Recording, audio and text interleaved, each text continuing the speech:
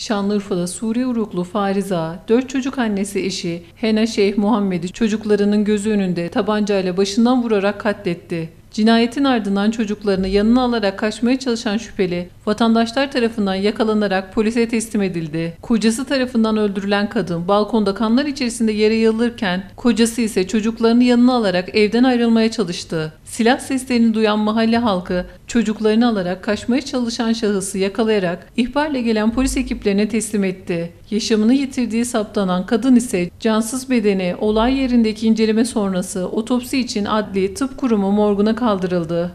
Eşinin yanı sıra iki kadınla daha birlikte yaşadığı öğrenilen Fariza ayrıca yaralama suçundan poliste 8 kaydı olduğu ortaya çıktı.